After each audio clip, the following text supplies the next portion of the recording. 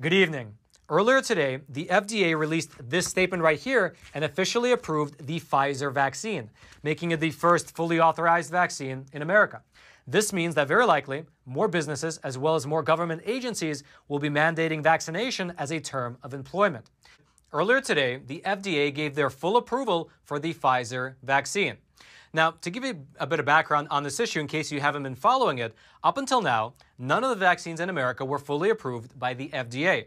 From December of 2020 up until now, all of the COVID vaccines, whether it's the Moderna, the Pfizer, or the Johnson & Johnson vaccine, they were all under what's known as emergency use authorization by the FDA, meaning that even though they have been tested, they were not fully approved. That was until earlier today because as we mentioned just a moment ago, the FDA, which is the Food and Drug Administration, they just granted full approval for the Pfizer slash BioNTech vaccine.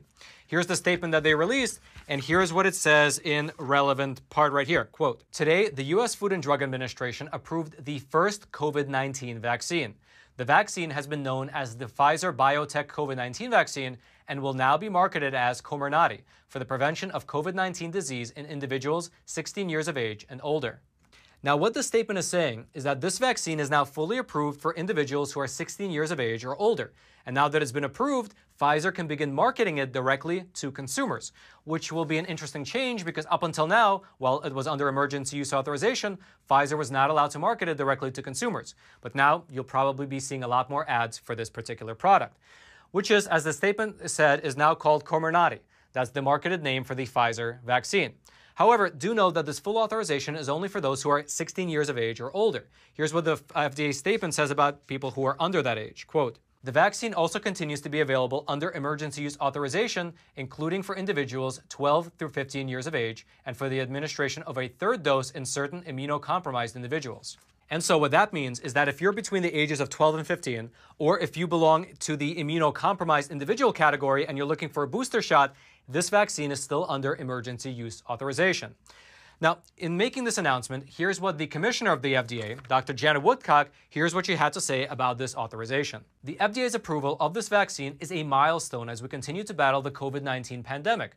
While this and other vaccines have met the FDA's rigorous scientific standards for emergency use authorization, as the first FDA approved COVID 19 vaccine, the public can be very confident that this vaccine meets the high standards for safety, effectiveness, and manufacturing quality the FDA requires of an approved product. And indeed, with this new approval, more companies as well as more schools around the country might begin to push vaccine mandates. And to give you a bit of background on that front, up until now, people were really questioning whether they can be forced to get a vaccine that's under emergency use authorization. And even though last month the Justice Department came out and they issued an opinion saying that emergency use vaccines can in fact be mandated, many businesses were still reluctant to do so partly because they didn't want to force people to do something against their will, but the other part was because the vaccines were not fully approved. However, now that one of them is fully approved, you can expect to see more businesses as well as more government agencies beginning to require them.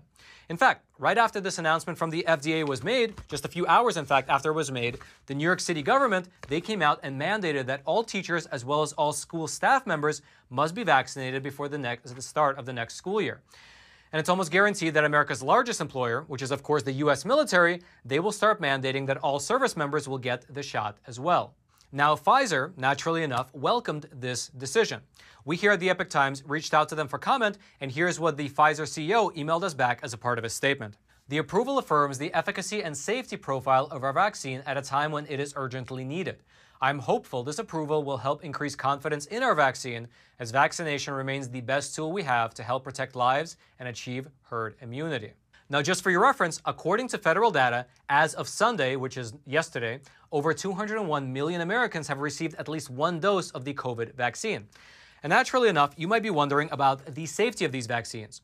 And so in this FDA approval statement, here's what they wrote in terms of the clinical trials that were conducted in order to get this vaccine approved. Uh, quote, the safety of Comirnaty was evaluated in approximately 22,000 people who received the vaccine and 22,000 people who received a placebo 16 years of age and older. Based on results from the clinical trial, the vaccine was 91% effective in preventing COVID 19 disease. Now, although this statement from the FDA says that they found the vaccine to be 91% effective, as we discussed in a previous episode, There have been several studies recently published by the CDC which show that the efficacy of the vaccines in preventing infection seem to be waning.